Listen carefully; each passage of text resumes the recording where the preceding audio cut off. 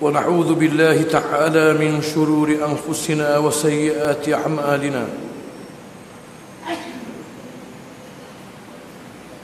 من يهده الله فلا مضل له ومن يضلل فلا هادي له. أشهد أن لا إله إلا الله وحده لا شريك له وأشهد أن محمدا عبده ورسوله. والصلاة والسلام على سيدنا رسول الله وعلى آله وصحبه ومن اتبع هداه. أما بعد. أعوذ بالله من الشيطان الرجيم. وإذ قال ربك للملائكة إني جاعل في الأرض خليفة. قالوا أتجعل فيها من يفسد فيها ويسفك الدماء؟ ونحن نسبح بحمدك ونقدس لك. قال إني أعلم ما لا تعلمون. Firman Allah Ta'ala yang bermaksud. Dan ingatlah tatkala Tuhanmu berfirman kepada para malaikatnya Sesungguhnya aku akan menciptakan di atas muka bumi ini khalifah. Lalu para malaikat menjawab dengan berkata Apakah engkau ingin menjadikan padanya yakni di bumi itu makhluk yang nantinya akan membuat kerosakan padanya dan menumpahkan darah padahal kami senantiasa bertasbih memujimu dan mensucikanmu Allah berfirman menjawab sesungguhnya Aku mengetahui apa yang kamu tidak mengetahuinya. Ini hormati Tuan Imam, Tuan Bilal, ahli tuan kuasa masjid ini. Seterusnya muslimi dan muslimat yang dirahmati Allah Ta'ala sekalian.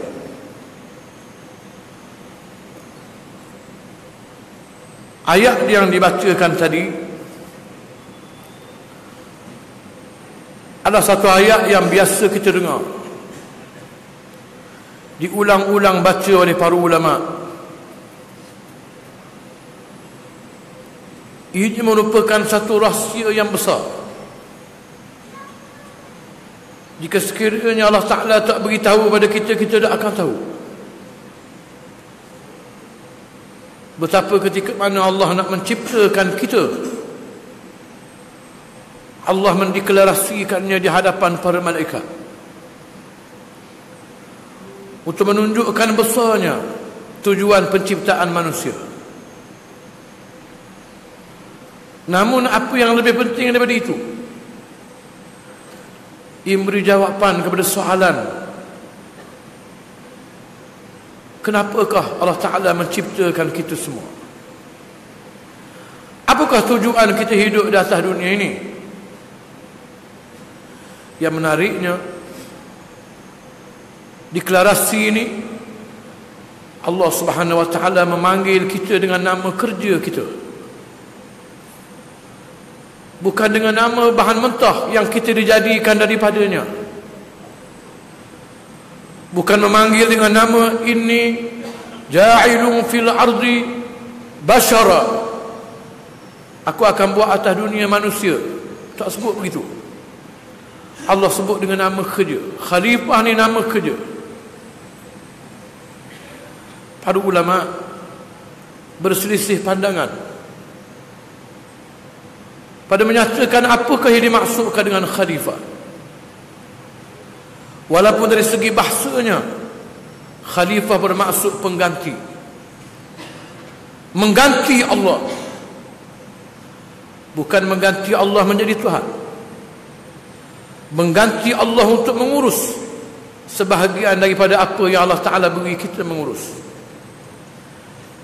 Apabila Allah Tuhan yang mencipta Maka Allah lah yang paling layak sekali untuk mengurus ciptaannya. Namun untuk menguji makhluk yang bernama manusia ini Allah berikan sebahagian tugas mengurus ini kepada dia. Firman Allah Ta'ala Tabarakalladzi biyadihi al-mulk wa huwa ala kulli syai'in qadir Maha berkat Allah ini tangannya lah segala kerajaan. Dialah pemilik bagi segala-galanya. Dan dia Tuhan yang maha berkuasa di atas tiap-tiap sesuatu. Alladhi khalaqal mauta wal hayata liyabluwakum ayyukum ahsanu amala. Dia menciptakan mati dan hidup. Supaya dia menguji kamu dalam tempoh yang kamu hidup itu siapakah yang paling baik menguruskan apa yang Allah Ta'ala berikan kepada dia tanggungjawab untuk mengurus. Sekurang-kurangnya mengurus diri dia sendiri. Dari segi istilahnya seperti yang dinyatakan oleh Al-Mawardi Abu Ya'la dan lain-lain khalifah bermaksud iqamatud din wa siyasatud dunia bih menegakkan agama, menegakkan Islam dan mengurus dunia ini dengan Islam itu. Kalau kamu seorang individu tak bertanggungjawab dengan siapa-siapa dia, khalifah bermakna menegakkan Islam dalam diri kamu dan mengurus diri kamu dengan Islam. Kalau kamu menjadi ketua keluarga, khalifah bermaksud menegakkan Islam dalam keluarga kamu dan mengurus keluarga kamu dengan Islam. Kalau kamu jadi ketua orang, ketua kampung, begitulah seterusnya. Menjadi yang berhormat. Ahli parlimen, esko, menteri besar, menteri, perdana menteri. Ia bermaksud ialah mengurus, memartabatkan agama, menegakkan agama dalam teritori kamu. Kemudian menguruskan Dunia yang kamu diberikan kuasa padanya itu dengan agama yang kamu tegakkan itu. Allah Ta'ala jadikan manusia ini secara fitrahnya hidup secara bermasyarakat. Hidup berorganisasi. Sebab tu Nabi kata mang syazza syazza finnar. Sampai dia duduk sekor diri, sekor diri dalam api neraka. Lari daripada fitrah ulama-ulama sosiologi Islam. Seperti dinakalkan di Ibnu Khaldun. Dalam kitabnya Muqaddimah. Pernah mengatakan al-insanu madaniyun bi tab'ihi ijtima'iyyun bi fitri manusia ini secara tabiatnya dia bersifat madani. Madani ini apa mudah terjemahnya madani ini modern. Manusia akan menuju kepada modern. Sentiasa berubah. Kepada lebih baik. Pada kehidupan duniawinya secara fitrah. Walaupun perkataan modern dalam bahasa orang putih dikatakan mari perkataan latin modo. Tapi saya merasakan modern sebenarnya mari perkataan Arab madani. Manusia dengan tak payah disuruh fitrahnya. Dia akan berubah menjadi lebih baik. Jangan kata manusia zaman itu manusia kemarin tak sama dengan manusia hari ini. Manusia seratus tahun dulu tak sama dengan manusia hari ini. Seribu tahun, dua ribu tahun tak sama. Berbeza dengan lembu. Lembu seribu tahun hari itu itu lembu hari ini. Tak berubah lembu. Manusia berubah.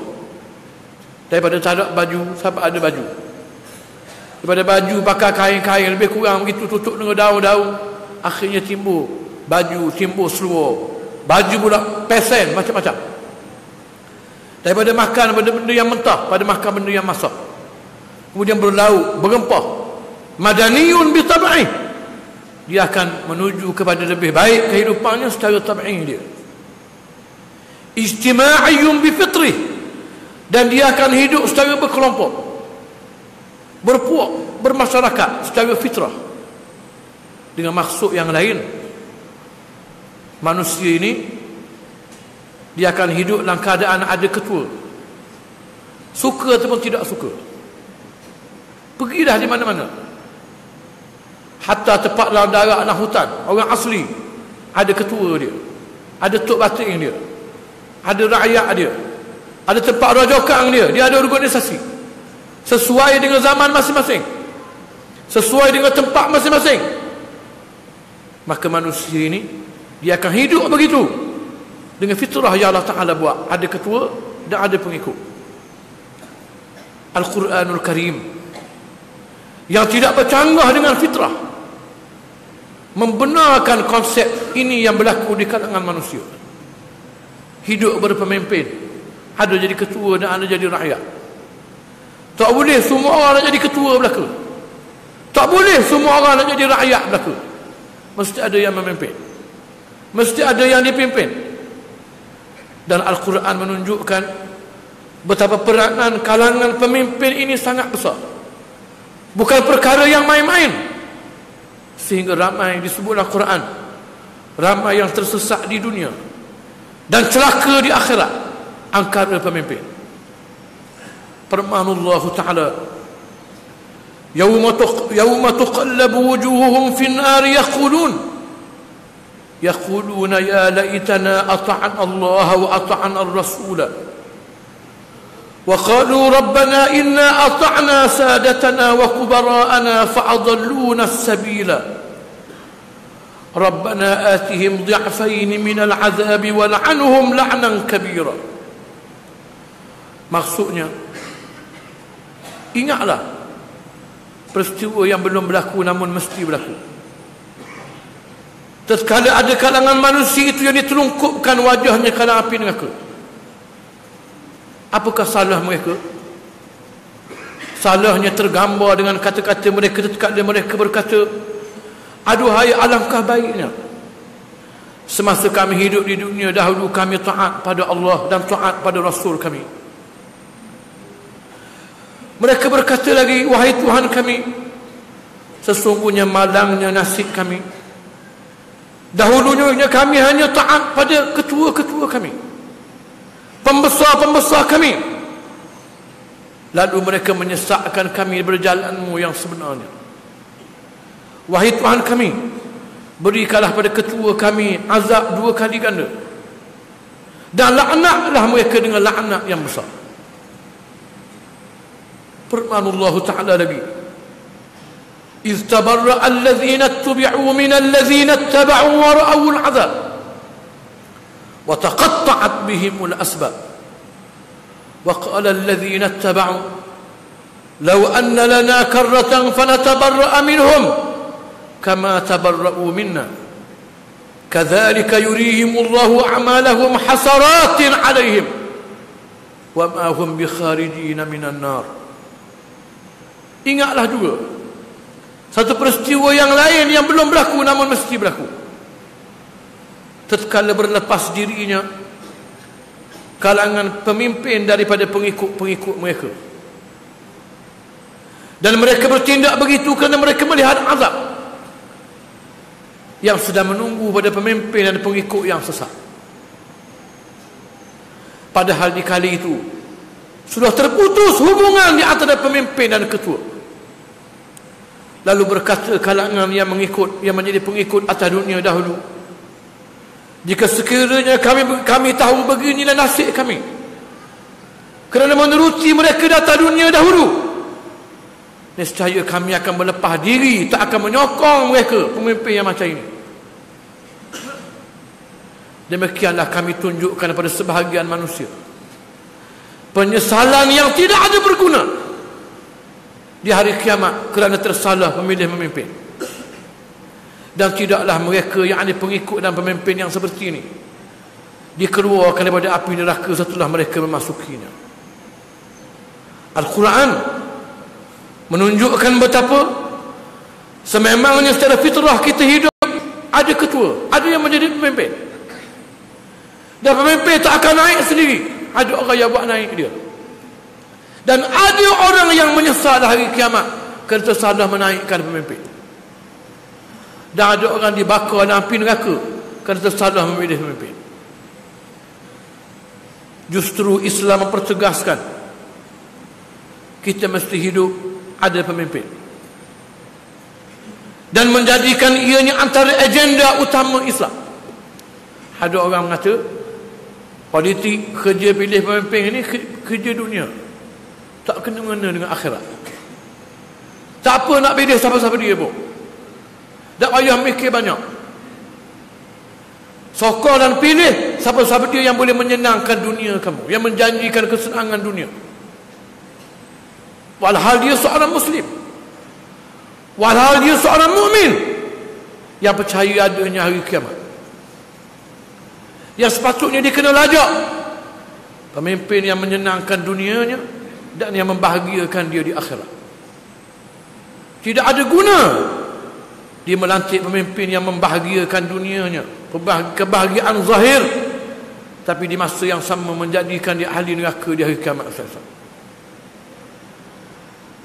Sabda Nabi SAW alaihi wasallam, "Ka'anat banu Israel tasusuhumul anbiya"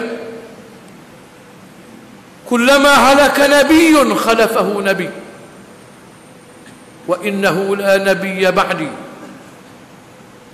وسيكون خلفاء فيكثرون رواه البخاري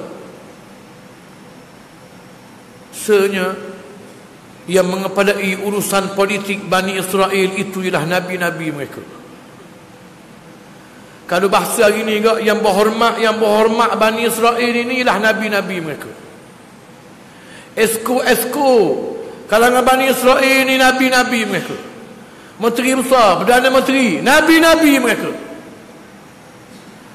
Dan tak diberi pada orang lain tatkala wafat seorang rasul. Diganti dengan rasul yang lain untuk meneruskan kerja ini. Ini kerja nabi-nabi. Macam mana boleh kata tak ada kena dengan agama? Dan begitulah juga dengan aku. Namun sesungguhnya tidak ada lagi Nabi selepas Sekadar aku menjadi Nabi, akulah ketua urusan politik bagi umatku. Bukan ketua semayang saja. Bukan ketua ratik saja, ketua baca Quran saja. Ketua politik bagi umat aku ialah aku. Namun tidak ada Nabi selepas aku. Yang menggantikan aku ialah pengganti-penggantiku dan mereka itu ramai bilangannya bahkan menunjukkan lagi peri pentingnya perkara ini dalam hadis yang lain an abi sa'id al-khudri radhiyallahu anhu anna an-nabiy sallallahu alaihi wasallam qala fi safarin falyu'ammiru ahadahum wa ahaqquhum bil imamati aqra'uhum rawahu abu daud at-tayalisi Maksudnya daripada Abu Sa'id Al-Khudri radhiyallahu anhu. Sesungguhnya Nabi SAW bersabda. Apabila tiga orang di kalangan kamu keluar bermusafir. Lantiklah seorang daripada tiga itu menjadi ketua. Tiga orang berkena lantik ketua. Kena ada ketua. Dan suruhan Nabi ini suruhan wajib. Suruhan wajib. Bukan sunat. Kita kadang-kadang pergi musafir. Bukan tiga orang, sepuluh orang, lima belas orang. Akan ada salah seorang jadi ketua walaupun tak nanti. Dia naik kereta kadang-kadang boleh cah lalu. Dia tukang mengarah, berhenti sini. Berhenti RNR ni. Orang lain pun senyap, mana latih ketua dengan cara dengan cara reda begitu je, tak tak pihang raya. Berhenti isi minyak sini, pergi rumah orang ni dulu. Dia buat pada haliah. Ada ketua. Tapi Nabi kata jangan kamu hidup tiga orang tak ada ketua, kena ada ketua. Dan hendaklah yang paling pandai yang membaca Quran di antara bertiga itu kemudian yang menjadi imam. Rasulullah SAW juga menunjukkan contoh yang lain. Pemahaman ini tunjukkan oleh sahabat-sahabat Nabi yang kita semua tahu ceritanya. Apabila Nabi SAW wafat, tak dikebumikan lagi wafat uh, jenazah Nabi yang mulia itu. Sudah dilantik khalifah yang baru. Apabila sampai begitu wafatnya Nabi SAW. Sayyidina Abu Bakar As-Siddiq radhiyallahu anhu. Kebetulannya semayang subuh pagi itu. Sayyidina Abu Bakar jadi imam. Tengah semayang Tiba-tiba Tabir rumah Nabi Langsir rumah Nabi yang Dah berhari-hari tertutup Terselok Sahabat Nabi yang duduk di sebelah belakang ni nampak Selok itu yang menyeloknya Rasulullah SAW Baginda tersenyum puas. Melihat bagaimana Islam ini Sudah boleh berjalan Berlangsung Walaupun dengan tidak kehadiran Rasulullah SAW Sehingga anak kata kami biasa nak berhenti Semayang nak terekam Nabi. Sebab tak tengok berapa hari dah. Kemudian langsir itu pun tertutup Sudah habis semayang Saya nak bakar pergi jumpa Siti Aisyah radhiyallahu anha anak dia. Kata Aisyah lagu mana Rasulullah pagi ni? Allah pagi ni sihat weh. Segar pagi ni. Dah segar tak pernah nak ikuti utang. Saya nak bakar pergi ikuti utang. Di sebuah tempat di Madinah Yang jaraknya lebih kurang sebatu. Tak dah siapa tempat sebab ikuti utang tu Siapa beritahu Rasulullah wafat. Bergegah pulang Pergi ke Masjid Nabawi Yang situnya ada rumah Nabi SAW Orang sedang berhimpun, ramai berhimpun. Yang menjadi ketua perhimpunan ini Sayyidina Umar bin Khattab radhiyallahu anhu. Yang beri amalan. Sahabat dia kata Rasulullah wafat aku kerak pada dia. Nabi tak wafat. Nabi hanya pergi munajat seperti mana Nabi Musa pergi munajat. Dan Nabi akan balik semula. Sayyidina Umar, Sayyidina Abu Bakar tak layang Sayyidina Umar. Terus masuk. Selok kain yang menutupi wajah Nabi SAW. Mengucup dahi Nabi SAW. Dan mengucapkan wahai Rasulullah engkau telah bertemu dengan mati dan tak ada mati lagi selepas ini. Kemudian dia keluar daripada rumah itu pergi ucapan antara ucapannya yang kita biasa dengar Man kana ya'budu Muhammadan fa inna Muhammadan qad ma. Sesiapa yang menyembah Muhammad rugilah dia. Kerana Muhammad sudah mati. Wa man kana ya'budu Allah fa inna Allah hayyun la yamut. Sesiapa yang menyembah Allah Allah itu maha hidup dan tidak akan mati selama-lamanya. Lalu dibaca ayat Quran. وما محمد إلا رسول قد خلت من قبله الرسول أفإن مات أو قتل انقلبتم على أعقابكم ومن ينقلب على عقبيه فلن يضر الله شيئا وسيجزي الله الشاكرين أي يعني سدوه لا موترون tapi mereka yang ada dalam majlis itu seolah-olah baru dengar hari itu. Dia bermaksud tidaklah Muhammad sallallahu alaihi wasallam itu melainkan seorang utusan telah berlalu sebelumnya utusan-utusan yang lain. Apakah jika sekiranya Muhammad itu mati atau terbunuh, kamu akan berputus asa dengan Islam dan balik menjadi kafir semula? Sesiapa yang demikian tindakannya, dia tidak akan dapat melemahkan agama Allah sedikit pun. Dan Allah akan berikan balasan yang baik pada orang-orang yang mensyukuri dengan perutusannya. Rebah Sayyidina Umar. Karena ayat ini menunjukkan memang Rasulullah wafat sungguh. Setelah kalangan sahabat Nabi boleh menerima berita yang menyedihkan itu. Kalangan Ahlul Bait Sayyidina Ali Sayyidina Abdullah bin Abbas dan lain-lain radhiyallahu anhu ambil perjalanan tanggungjawab mengurus jenazah Rasulullah SAW. Sahabat-sahabat yang besar yang lain duduk dua masjid. Tunggu. Tiba-tiba mari satu orang. Abu Bakar. Orang-orang Ansar sedang sedang berhimpun. Di Saqifah Bani Sa'idah. Sebuah tempat perhimpunan orang-orang Ansar balaraya lah kita panggil. Mereka sedang bermesuara nak pilih pemimpin yang baru. Kalau kita gak nanti gak tanang dulu kalau kita kadang-kadang ke tanang aja tunggu gak kubur merah lagi nak tunggu kubur warna ni tak tahu baru nak buat kerja Sahabat Nabi tahu ini bukan urusan main-main. Tak boleh hidup dengan tak ada pemimpin. Mesti ada ketua.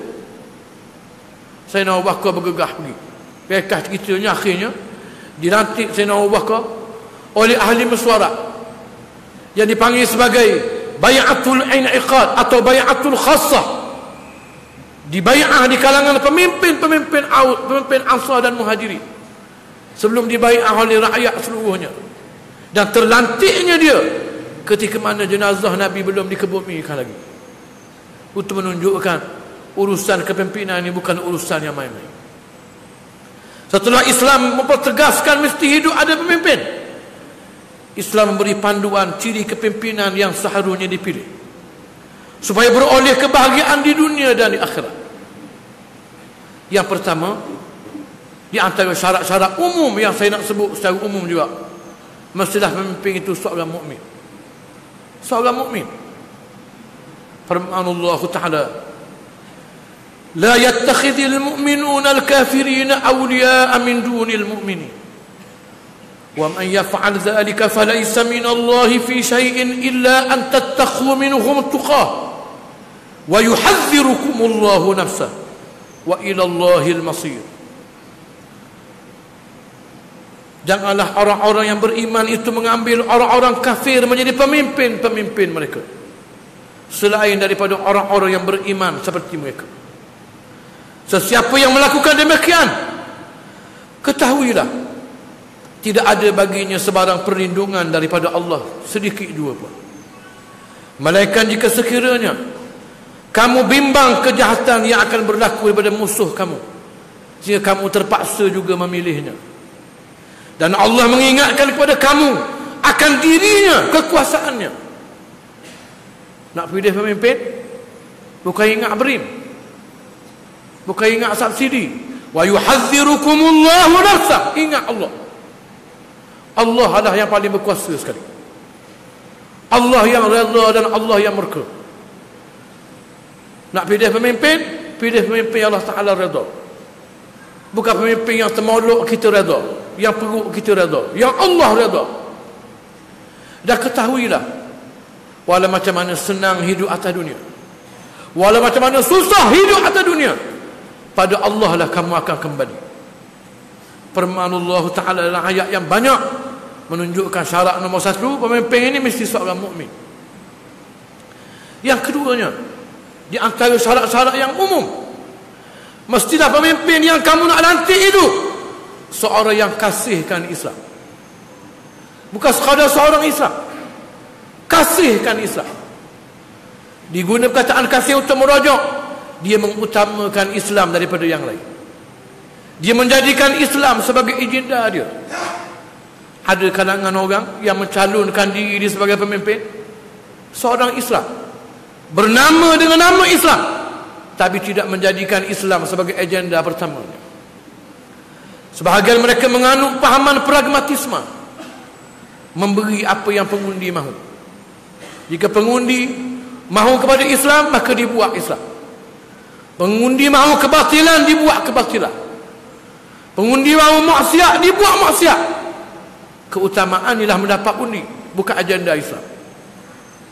Firman Allah Ta'ala, Ya ayyuhallazina amanu, لا تتخذوا آباءكم وإخوانكم أولياء إن استحبوا الكفر على الإيمان.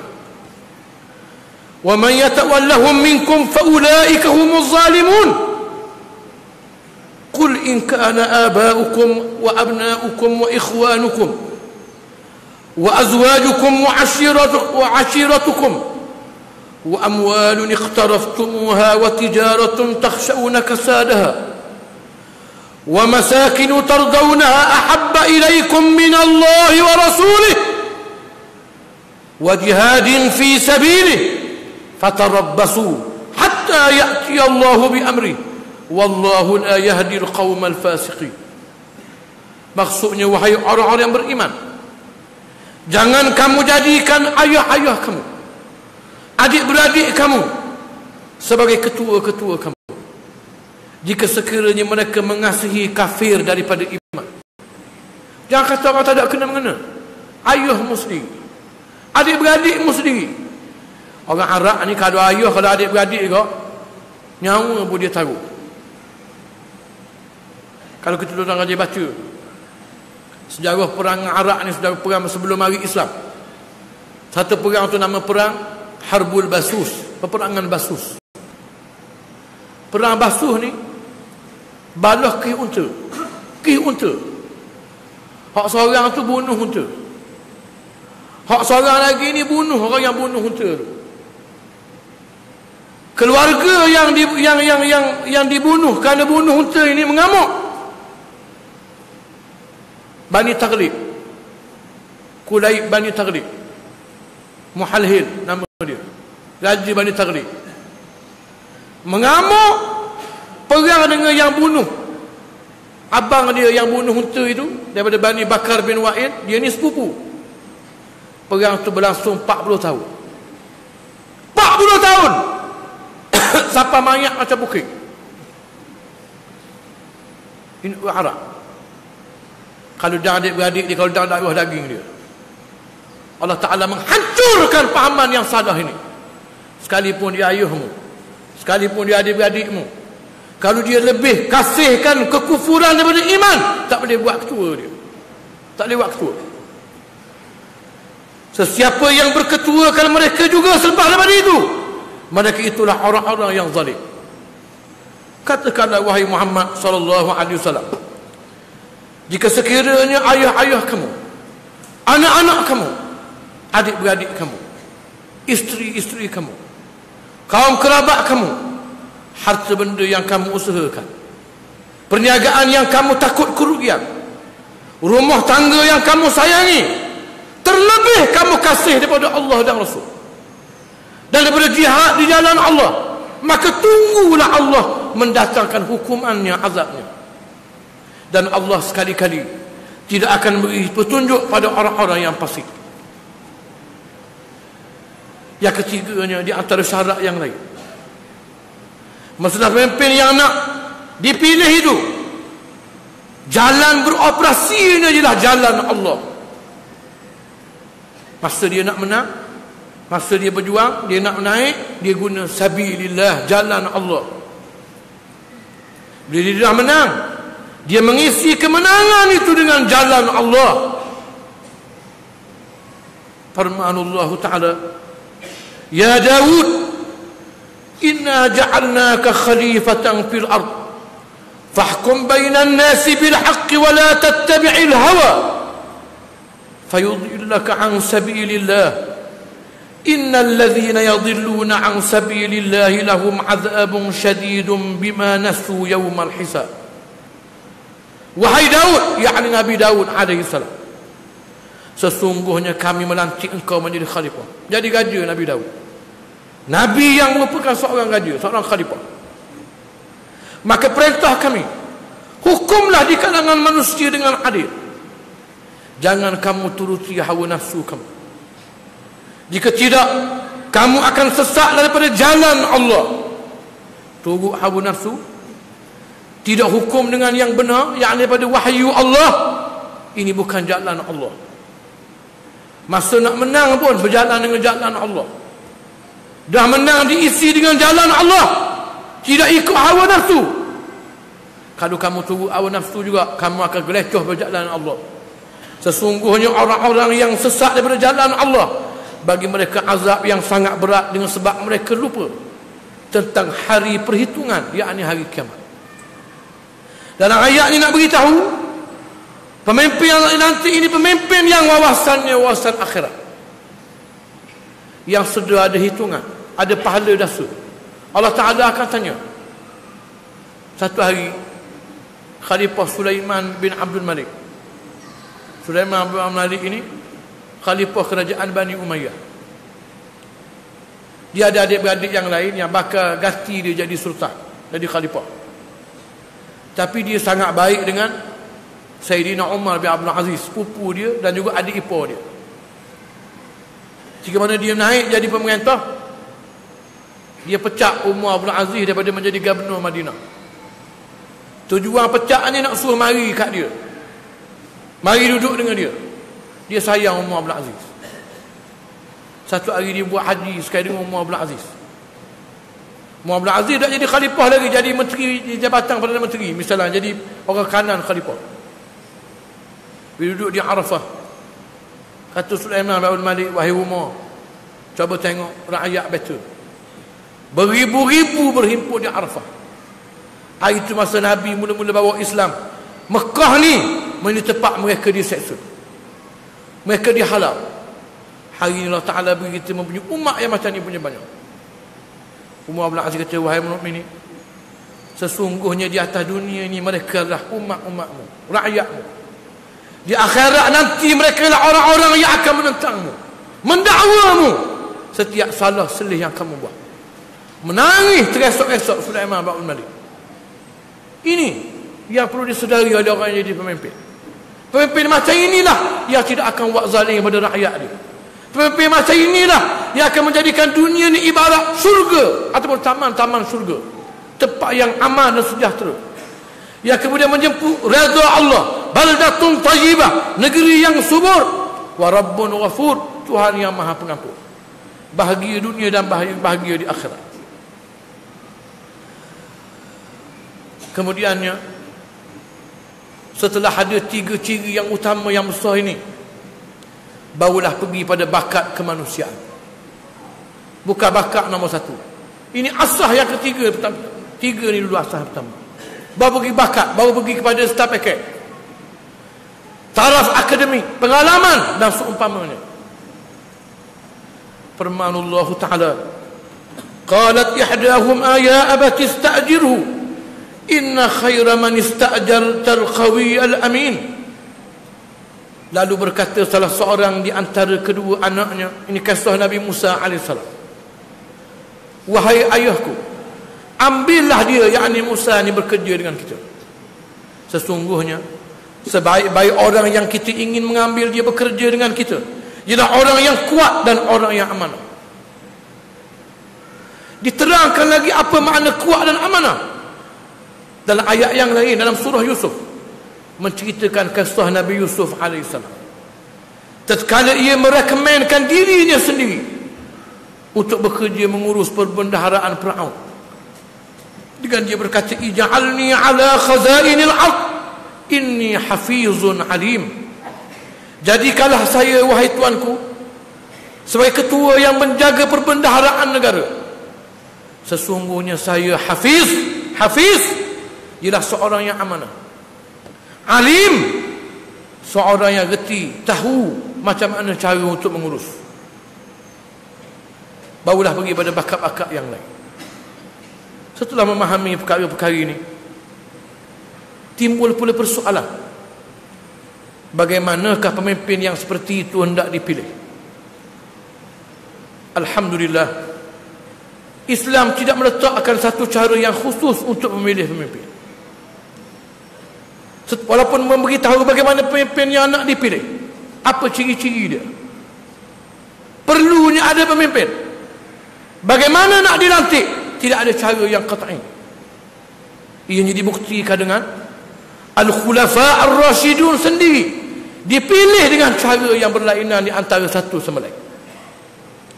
Sayyidina Abu Bakar As-Siddiq radhiyallahu anhu dipilih menjadi khalifah Rasulullah sallallahu alaihi wasallam dengan berlakunya bayatul in'iqab iaitu berlaku mesyuarat di kalangan ahlul hilli wal iqdi ahli esku di kalangan pemimpin-pemimpin sahabat Nabi ansar dan juga muhajiri mereka ini mewakili seluruh umat ahli majlis surah lah kita panggil mereka pilih Sayyidina Abu Bakar kemudian bay'ah Sayyidina Abu Bakar dipanggil bay'atul in'iqad bay'ah perlantikan Kemudian dimasyhurkan di masjid. Ini ahli musyawarah sudah setuju pilih Abu Bakar ketua. Baru berlaku bai'atut ta'ah. Orang lain terima berbai'ah untuk taat pada yang dipilih ini. Habis Sayyidina Abu Bakar As-Siddiq radhiyallahu anhu menghampiri waktu wafatnya. Berlaku lagi satu cara yang baru memilih pemimpin, al-istikhlaf. Sayyidina Abu Bakar sebut, ganti saya lepas saya mati, Umar. Pemimpin yang masih hidup menunjukkan penggantinya. Tidak ada sahabat Nabi yang mempertikaikannya. Berlaku ijma' sekurang-kurangnya ijma' sukuti, ijma' senyap. Ini satu cara yang lain. Ya kemudian terlantik Sayyidina Umar ibn Khattab radhiyallahu an dibai'ah menjadi menjadi khalifah menjadi khalifah. Bila mari waktu ditikamnya Sayyidina Umar bin Al-Khattab radhiyallahu an Sayyidina Umar kata aku tak nak tiru Abu Bakar. Aku tak nak tunjuk siapa dia ganti aku. Cuma aku nak membuat mesyuarat. Pengurusi mesyuarat Abdul Rahman bin Auf dan aku nak anak aku Abdullah bin Umar. Salah seorang ahli mesyuarat juga. Cuma dia ni ahli mesyuarat aja tak jadi calon ibaratnya dia mewakili Sayyidina Umar. Kerana Sayyidina Umar tahu kealiman anak dia ini akhirnya baku mesyuarat berlaku mesyuarat tanya seorang seorang seorang tolak tolak. Akhirnya sorti tinggal dua orang tu. Sayyidina Osman dengan Sayyidina Ali kemudiannya Sayyidina Abu Rahman bin Auf pergi membuat kita kata juga pengundian secara rahsia. Minta pandangan awam pergi tanya orang tanya orang seorang-seorang tanya orang ni Osman Kadi tanya orang ni Osman Kadi SPA pergi kat orang. Bukan orang pergi kat SPA pergi tanya. Ini juga satu cara baru yang tak dibuat sebelum ini. Ijtihad. Akhirnya dah habis dengar orang cakap semua sekali Sayyidina Abdul Rahman bin Auf pun panggil Sayyidina Osman. Sesungguhnya ramai rakyat yang aku tanya ni mereka reza dengan cara Abu Bakar mengetah dengan cara Umar mengetah. Mu mengetah ni manifesto mu mana? Manifesto lah kita panggil. Sama dengan dua orang tu juga ke macam mana? Sayyidina Osman kata saya akan ikut jejak langkah dua orang tu. Panggil Sayyidina Ali pula. Ali Aku tanya orang, tanya-tanya orang, orang ni sangat berbeza dengan apa yang Abu Bakar buat, yang Umar buat. Mu mengetah ni lagu mana? Mu nak buat pasal mana? Saya kata, saya ikut Rasulullah. Kemudian, bila siapa dekat tak Rasulullah, tak Quran, saya ijtihad saya sendiri. Akhirnya saya di umum, saya nak Osman jadi khalifah. SPA umum, saya nak Osman jadi khalifah. Kemudian rekah lagi cerita bila mari zaman Sayyidina Muawiyah bin Abi Sufyan radhiyallahu an yang dilantik dengan cara berlakunya suluh genjatan senjata. Di antara cucu Nabi dengan dia jadi khalifah. Lepas dia lantik dengan cara dipanggil sulalah hakimah dinasti. Lepas Sayyidina Muawiyah pengganti dia anak dia Yazid bin Muawiyah.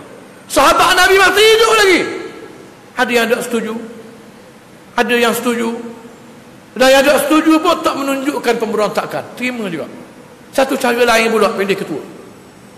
Bila mati Yazid bin Muawiyah, ganti pula dengan anak dia Muawiyah bin Yazid. Ganti-ganti ini. Maka menunjukkan secara umumnya tidak ada cara khusus yang ditetapkan oleh Islam cara nak memilih pemimpin. Boleh jadi macam-macam cara. Dengan syarat tidak menghalalkan yang haram, mengharamkan yang halal. Di zaman kita hari ini, memilih pemimpin dibuat dengan cara pilihan raya. Ulama-ulama membuat bermacam-macam perbahasan bagi menyatakan apa hukum pilihan raya ini. Ada di antara mereka yang menerimanya sebagai cara yang sah untuk memilih pemimpin. Ada yang tidak menerimanya. Yang menerimanya mengatakan bahawasanya Allah Ta'ala menyebut dalam Quran wa amruhum syura bainahum di antara cara kerja orang Islam ialah mereka mesyuarat sama-sama mereka. Para ulama ni kata pilihan raya ialah mesyuarat. Pilihan raya ialah satu bentuk mesyuarat. Cuma mesyuarat yang besar. Pengurusi dia SPA. Pengurusi mesyuarat. Ahli mesyuarat dia seluruh rakyat. Tajuk mesyuarat dia nak pilih Saleh ke, Yusof ke, acong ke mutusami jadi yang berhormat tajuk mesyuarat satu bentuk mesyuarat maka berdasarkan pandangan ini mereka mengatakan pilihan raya ini adalah di antara benda-benda yang boleh dibuat dan tak bercangguh dengan syarak. Ada dengan ulama yang mengatakan pilihan raya ialah satu penyaksian. Satu bentuk penyaksian. Dua orang ataupun lebih daripada dua orang mengetengahkan diri masing-masing kemudian minta penyaksian daripada rakyat siapa paling layak untuk jadi untuk jadi ketua. Ada yang mengatakan ini satu bentuk perwakilan. Ada macam-macam. Namun ulama ini mereka mengatakan pilihan raya ini satu cara yang diiktiraf oleh syarak yang sah untuk dimenantik pemimpin dengannya. Namun pemimpin yang macam saat ni pemimpin yang macam saat ni pada ulama-ulama yang tak setuju mengatakan pilihan raya ni bukan cara Islam. Mereka ni juga terpaksa terlibat dengan pilihan raya dan hukumnya wajib juga. Lagu mana begitu? Hak kata pilihan raya ni selarah dengan Islam kerana dia ni macam mesyuarat. Tu tak kira lah. Hak ni dikata pilihan raya ni tak ikut cara Islam. Dia berwajib kena masuk pilihan raya juga kerana Quran pula wajib. Dengan akhaffud dararain mengambil kemudaratan yang paling ringan bila bertembung dengan dua kemudaratan. Ini kaedah Islam. Bila ada di hadapanmu dua benda yang memudaratkan yang ini kalau buat mudarat yang ini kalau buat mudarat tak ada pilihan yang ketiga. Kalau mu mengundi masuk terlibat dengan pilihan raya mudarat. Kerana mu kata ini bukan cara Islam maka mudarat kalau mu tak terlibat dalam pilihan raya mudarat juga. Kerana mungkin kerana sebab mu tak terlibat penyambung jadi ketua. Perokok jadi ketua. Orang jahat jadi ketua. Sebab mu tak lebar tak mu terlibat. Mana besar mudarat dua ni? Maka besar lagi mudarat tak terlibat. Wajib mu kena terlibat. Kerana walaupun menurut pandanganmu dia bukan cara yang dia dia ialah mudarat yang paling kecil. Mudarat yang paling ringan.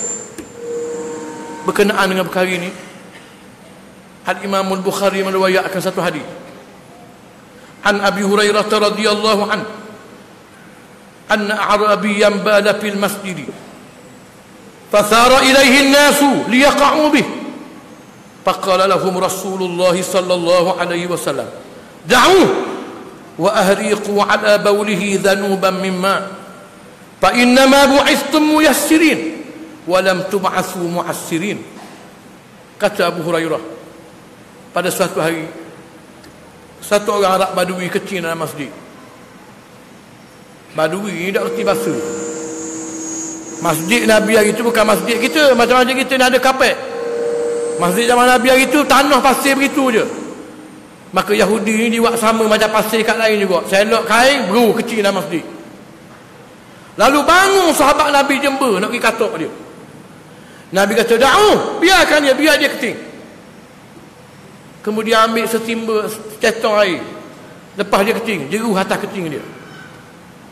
Kamu diutuhkan oleh Allah Untuk memudahkan Bukan untuk memayahkan Para ulama kata Bagaimana Nabi SAW Boleh mengarahkan sesuatu yang mudarat? Apa dia? Membiarkan badui itu kecil dalam masjid. Kecil dalam masjid ini mudarat. Tapi Nabi boleh kata Biar dia kecil Kalau tanya kecil masjid ni haram ke halal? Cuba ya. Haram. Kecil masjid.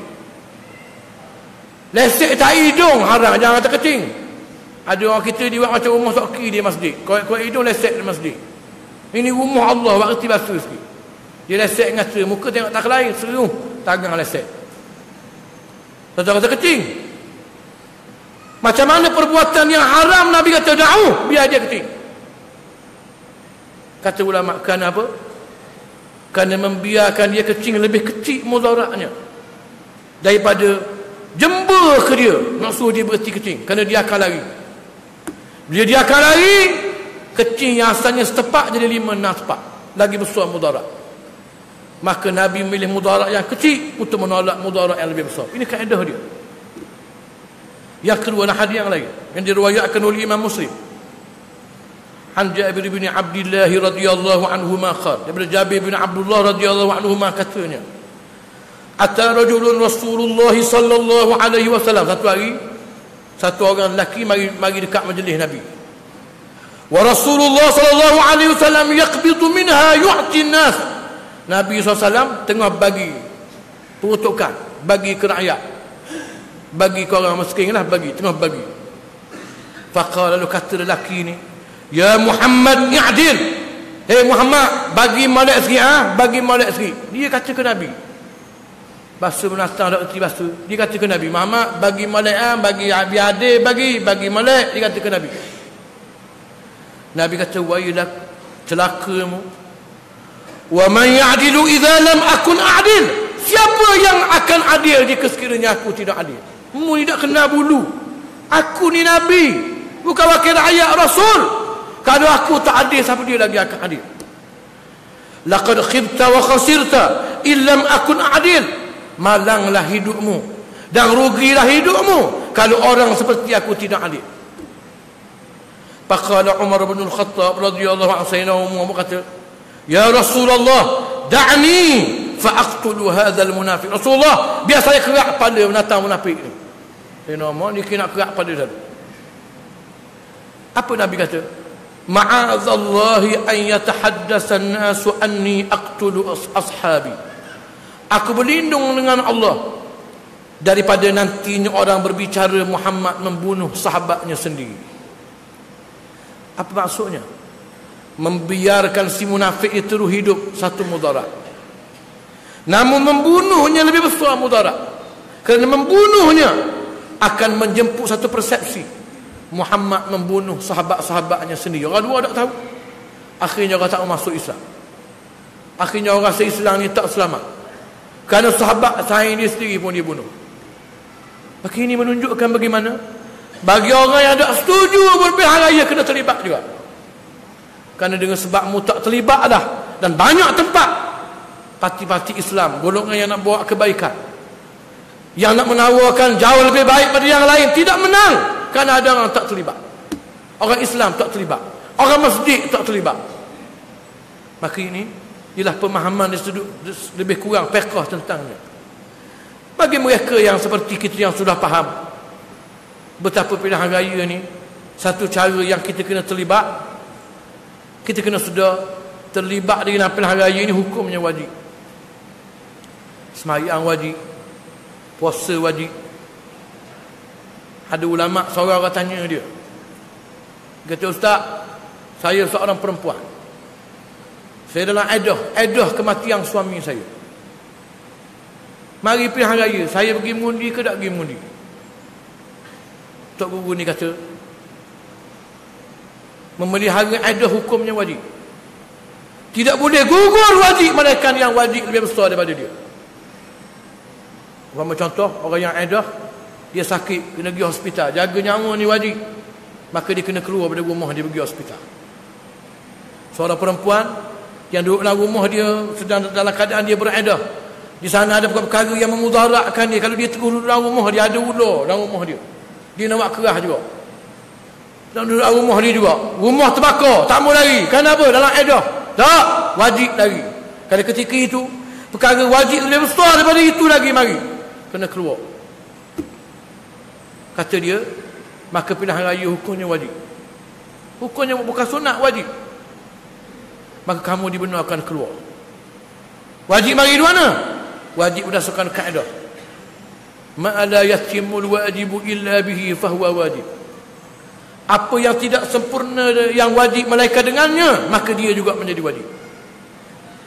Menegakkan kerajaan Islam hukumnya wajib menegakkan pemerintah yang nak amar ma'ruf nahi munkar hukumnya wajib.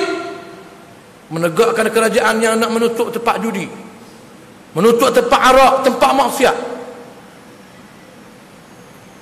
Melunaskan segala kepayahan rakyat. Membatalkan cukai-cukai yang zalim yang membebankan. Menegakkan kerajaan yang seperti ini. Hukumnya wajib. Dan tidak boleh tertegak kerajaan yang seperti ini malaikat di, di kerajaan ini dibawa mari dimenangkan dalam pilihan raya.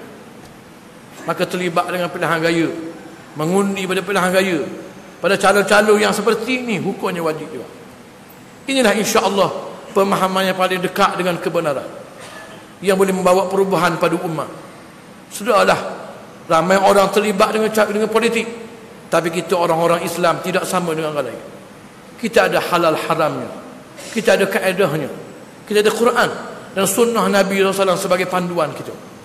Percayalah dengan apa yang Nabi sebut taraktu fikum amrain aku tinggal kamu saka dua kali Nabi tahu apa apa yang akan berlaku. Allah Taala tahu apa yang akan menunggu umat Muhammad SAW. Sampai hari kiamat Allah Taala Maha mengetahui. Allah Ta'ala mahu mengetahui apa yang sedang melanda kita apa yang akan melanda. Maka Nabi kata, aku tinggalmu dua kali, dua saka.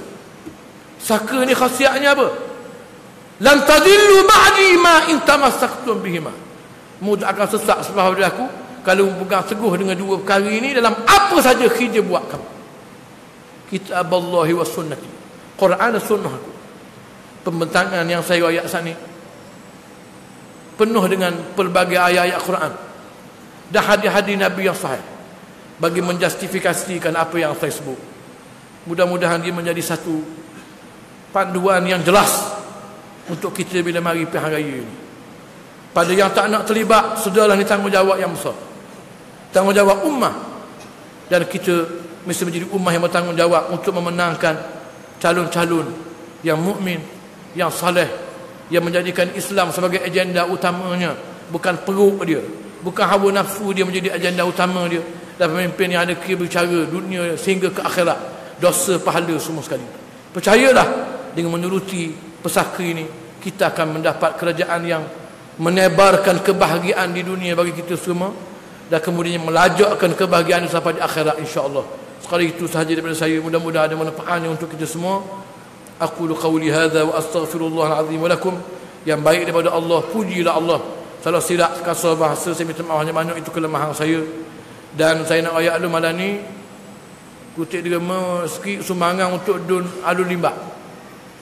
Mana tahu Sof, Haji Sofi dah. Ada. Eh betul? Ha. alu limbah. insyaAllah nak pergi raya ni piti dirham nak akal agak dirham ha, piti nak akal banyak piti. Dan piti orang kata apa nama ni piti ni amnu beri kepala hotok dia. Piti ni orang pah beri. Orang masjid beri. Orang ada dah kocek orang kita semua sekali insyaAllah dan inilah kita amal jok di tahun 55 hari tu. Siapa tengah malam ni? insyaAllah. Jadi pakat-pakat derma sikit seorang. insyaAllah aku di hadha. Assalamualaikum warahmatullahi wabarakatuh. Allahu Akbar. Allah.